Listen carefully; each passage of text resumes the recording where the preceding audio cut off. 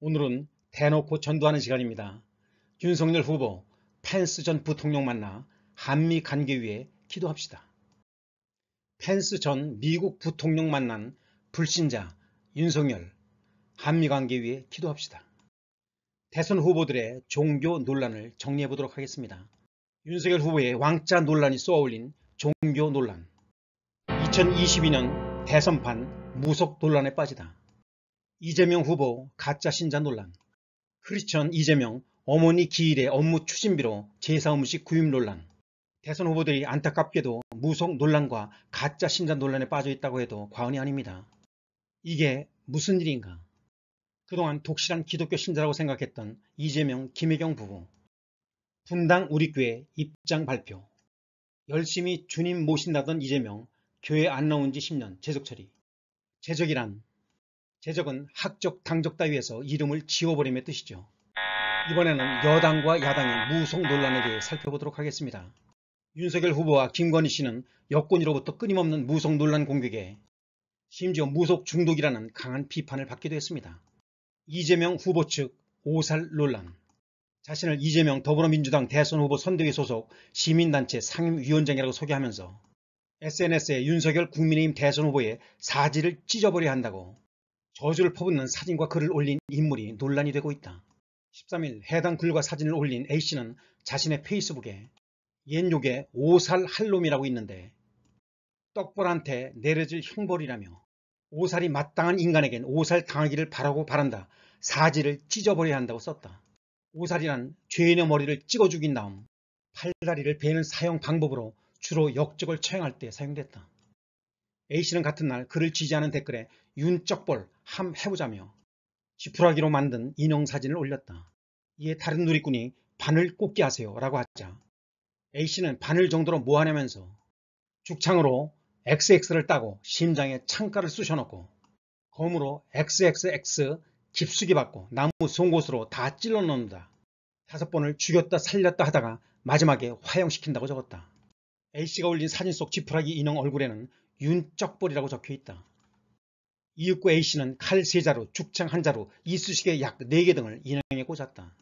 A씨의 적나라한 윤 후보 저주공세에 한 네티즌은 댓글에서 낮에는 새가 보고 밤에는 쥐가 본다며 상대 진영에 괜히 뒤집어 씌울 거리가 될까 걱정이 앞선다고 우려했다. 반면 또 다른 댓글에는 대단하신 우리 보살님이라고 적었다. 앞서 A씨는 지난 4일 페이스북에 이 후보의 직인이 찍힌 임명장을 올리고 부족한 제가 더 밝은 미래위원회 대한민국 바로 세우기 상임위원장으로 임명됐다며 기울어진 대한민국을 바로 세우기에 남은 일생을 모두 바치겠다. 조선 수군이 죽기를 각오하고 이순신 장군을 따라 조선을 외국에게 뺏길 수 없어 지킨 것처럼이라고 썼다. 더 밝은 미래위원회는 지난달 18일 이 후보 선대위 소속으로 자발적으로 나선 시민조직입니다. 무속과 가짜 신자 논란을 끊는 방법 대놓고 전도하겠습니다. 예수님을 영접하시면 됩니다. 영접하는 자 곧 그 이름을 믿는 자들에게는 하나님의 자녀가 되는 권세를 주셨으니 요한복음 1장 12절 윤석열, 이재명 후보께서는 꼭 예수를 영접하시기를 부탁드립니다. 펜스 전 미 부통령 만난 윤석열, 한미관계에 기도합시다.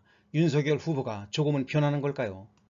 윤석열 국민의힘 대선 후보가 13일 오후 서울 송파구 롯데 시그니엘 호텔에서 마이크 펜스 전 미국 부통령을 만났습니다.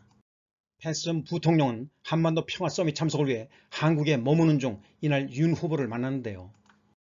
윤 후보는 이후 기자들과 만나 북한의 비핵화를 비롯한 우리 안보와 한미 협력에 관한 그런 얘기들을 좀 나눴다고 밝혔죠. 북한 인권과 납북자 문제에 대해서는 원론적인 얘기를 좀 많이 하다 보니까 개인적인 얘기도 하고 또 펜스 부통령의 부친이 6.25 참전용사고 청동 훈장까지 받으신 분이라며 그래서 그런 얘기를 하다 보니까 거기까지는 좀 얘기를 나눌까 했는데 얘기를 못했다고 했습니다. 한편 연합뉴스 기독일보에 따르면 윤 후보는 이날 독실한 기독교 신자로 알려진 펜스 전 부통령에게 기도로 면담을 시작할 것을 제안했다고 윤 후보 선대본부가 전했습니다. 이에 펜스 전 부통령은 많은 회의를 가봤지만 기도로 시작하는 것은 처음이었다며 흔쾌히 응했다고 합니다. 윤 후보는 서울 송파구의 한 호텔에서 박진 선대본부 글로벌 비전위원장과 조태영 부위원장, 김성한 부위원장이 배석한 가운데 마이크 펜스 전 미국 부통령을 만났죠. 참석자들에 따르면 윤 후보는 독실한 크리스천인 펜스 전 부통령에게 한미 관계를 위해 기도를 하고 싶다고 했고 이후 내가 대통령이 되면 다시 방안에 날 위해 기도해달라고 부탁했다고 합니다. 한 배석자는 펜스 전 부통령이 자유주의 경제학자인 밀턴 프리도먼의 저서 선택할 자유를 언급하면서 자유와 시장경제를 택한 한국은 이렇게 발전했는데 북한은 그렇지 못하다는 말을 했다며 윤 후보도 홍하며 대학 시절 그 책을 구해 읽었다고 했으며 이후 윤 후보는 페이스북에 한미 동맹 강화라는 한 줄짜리 글도 올렸습니다. 무성 논란 김건희 목사 만나 조언 구했다. 말씀 듣고 함께 기도. 윤석열 국민의힘 대선 후보 아내 김건희 씨가 사과 기자회견 이후 처음으로 언론 카메라에 포착됐습니다. 15일 국민일보 보도에 따르면 김 씨는 14일 서울 마포구 극동방송국 건물 앞에서 목격됐는데요. 무속 논란에 휘말린 김 씨는 이날 극동방송국에서 극동방송 이사장인 김정한 목사를 비공개로 만났죠. 김 씨는 수행비서 한 명만 데리고 직접 운전해 오전 7시 극동방송국에 도착했고 김 목사와 3시간가량 대화를 나눴습니다. 김 씨는 김 목사께서 인생의 지혜를 말씀해 주셨다며 정기적으로 만나 뵙고 좋은 말씀을 듣고 함께 기도한다. 많은 위로를 받아 스스로를 돌아보는 계기가 되고 있다고 말했습니다. 김 씨와 김 목사의 만남은 윤 후보의 제안으로 이루어졌고 이번이 네 번째라고 하는데요. 김 씨는 지난 2일엔 김 목사를 포함해 기독교계 저명 인사들과 만남을 가진 것으로 알려졌죠. 무속 논란을 돌파하기 위한 노력으로 해석됩니다. 김건희 씨는 향후 윤 후보를 돕기 위한 공개 행보를 할 계획이 있느냐는 질문에 아무것도 결정된 건 없다. 남편과 상의해보겠다면서도 천천히 문화, 예술, 종교 분야에서 공개 행보를 시작하라는 조언이 많아서 선거 지원 여부를 검토하고 있다고 답했습니다. 현재 심경은 어떤가 라는 질문에는 지금은 자숙하고 있는 상황이라며 아직 제가 여러 가지로 부족함이 많아서 많이 성찰하고 있다고 했습니다. 이재명 더불어민주당 대선 후보 아내인 김유영 씨의 과잉 의전 논란에 대해서는 드릴 말씀이 없다고 말했습니다. 김 씨는 지난해 12월 26일 자신의 허위 이력 논란과 관련해 직접 대국민 사과를 한 이후 외부의 모습을 드러낸 적이 없습니다. 크리스천 이재명, 어머니 기일의 업무 추진비로 제사 음식 구입 논란, 이재명 더불어민주당 대선 후보 배우자 김혜영 씨가 경기도 공무원을 지켜 제사 음식을 구매했다는 의혹이 제기됐다. 앞서 이 후보가 자신과 가족을 기독교 신자라고 밝힌 점을 두고 의문이 제기되고 있다.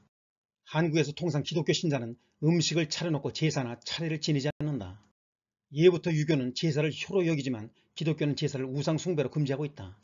신광수 세계 한국인 기독교 총연합회 사무총장은 아시아 경제와 인터뷰에서 기독교 신자는 영정 사진 앞에 꽃다발을 놓고 가족이 둘러앉아서 추도 예배를 드린다면서 고기나 음식 같은 거 차려놓고 제사는 지내지 않는다고 말했다. 지난해 3월 당시 경기도청 직원이었던 A씨가 도청 총무과 소속이었던 배소인 씨에게 보낸 텔레그램 메시지에는 과일 가게에서 제사용품을 받아서 사진 찍겠다고 돼 있다. 텔레그램에는 전과 배, 사과, 황태포 등이 찍힌 사진이 올라왔다. 배 씨는 A씨에게 성남시 순회동 2호보 자택으로 물건을 전달하라고 지시했다. 제보자 A씨 추정에 따르면 제사 음식을 받은 날은 이 후보 어머니의 음력길이었다. 또한 이 후보 측은 명절뿐 아니라 평소 가족 행사 날에도 심부름을 시킨 것으로 알려졌다. A씨 측이 과일을 구매한 날 경기도의 업무 추진비 집행 내역에는 내방객 접대 물품 명목으로 43만원을 처리한 걸로 돼 있다. 경기도는 목적대로 사용한 건 확인했다면서도 구체적으로 무엇을 샀는지는 알 수 없다고 해명한 것으로 전해졌다. 민주당 선대위는 비서실에서 업무 추진비로 구매한 과일과 제사 음식은 무관하다면서 제사 음식은 후보의 사비로 샀고 현금으로 구매 영수증은 없다고 밝혔습니다. 오늘도 성령님과 동행하며 축복받는 하루가 되시기를 기원합니다. 살다 보면 기도밖에는 아무것도 할 수 없는 그런 순간들이 찾아온다. 모든 문제의 해답은 예수 그리스도이십니다. 마음에 감동이 있으신 분은 가까운 정통교회로 나가세요. 예수님을 정말로 사랑하는 크리스천 튜브였습니다.